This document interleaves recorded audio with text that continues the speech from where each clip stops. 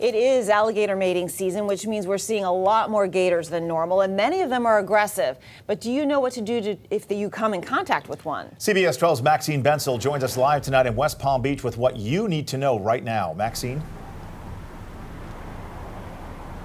The best thing you can do is be proactive. Experts with the Busch Wildlife Sanctuary say know your surroundings, and if you see an alligator acting weird or just a little too friendly, you should report it.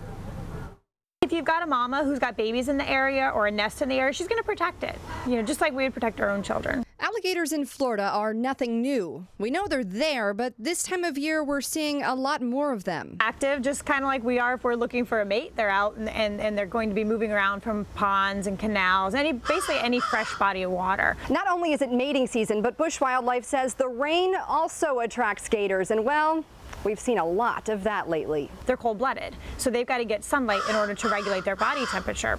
Amy Kite with the Busch Wildlife Sanctuary says if you're anywhere near fresh water, you should assume a gator is nearby. You don't want to be walking right on the water's edge or, you know, walking your dog right by the water's edge. And if there's one you see often that seems to like people just a little too much. If you have an alligator that you're already noticing really isn't showing any fear of humans, people are out there barbecuing and the alligator's coming up on the bank, you know, certain behaviors that would make you go, this doesn't seem right, you would like to call Florida Fish and Wildlife. They have a, an alligator hotline. You really shouldn't come into contact with one, but if you do. But you can know. go for the eyes. You know, generally you're going to be up towards the head portion of the body, so trying to, to poke it in the eye, punch it in the eye, something like that.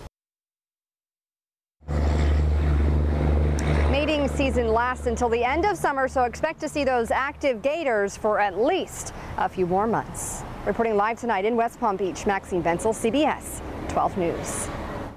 If you see an alligator that's a nuisance or acting abnormal, FWC says you should call their tip line at 1 866 FWC Gator. We've also posted that number on our website. Just head to CBS12.com.